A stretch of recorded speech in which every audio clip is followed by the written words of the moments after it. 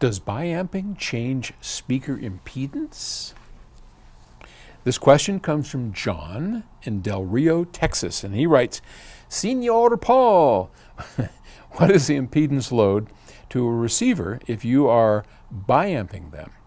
If, for example, the spec rated impedance of a biampable speaker is, let's say, 8 ohms, assuming with the jumper attached, the jumper between the two terminals for you know the upper and the lower when we biamp, um, wouldn't that mean that it's wired in parallel for that 8 ohm load?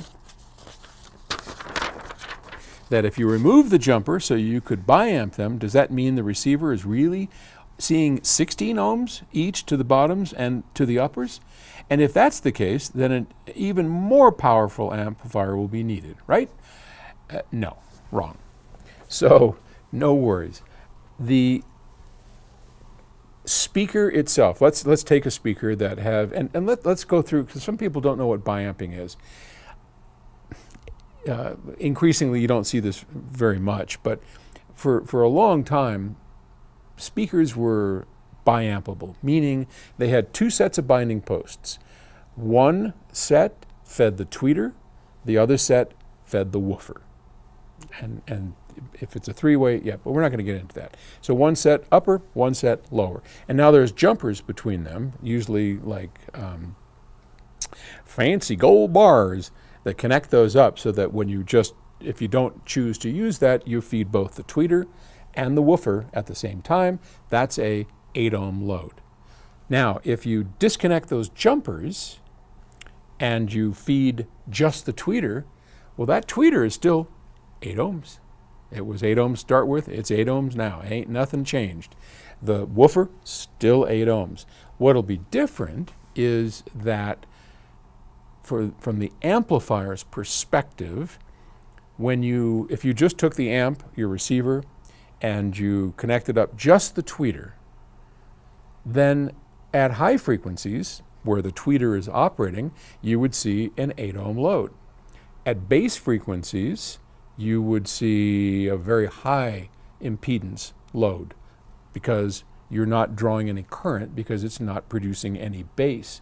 So the impedance curve would go very high where the tweeter isn't working and down to 8 ohms when it is working. And the same with the woofer. At tweeter frequencies, the woofer would have very high impedance because you're not drawing any current. So remember, current or power is a measure of, of how much signal from the amplifier is actually being used to convert electricity into sound. If it's not being used to convert that, the impedance goes up. So what an 8 ohm speaker is, we're saying that when you are drawing current, power from the amplifier at a specific frequency, and that is being used, that energy is being used to generate sound in the room, we will say that that is an 8 ohm load or a 4 ohm load. And we can use Ohm's law to calculate, you know, what in 8 ohms, if you have that much voltage, here's how much current, thus how much wattage. Amps times volts equals watts, blah, blah, blah. You don't need to know all that. So, now it's always going to be the same impedance, just with the caveats that I explained by dividing the frequency up. Hope that, hope that wasn't too complicated and, and makes sense and, and helps you out. Okay. Take it easy. Talk to you tomorrow.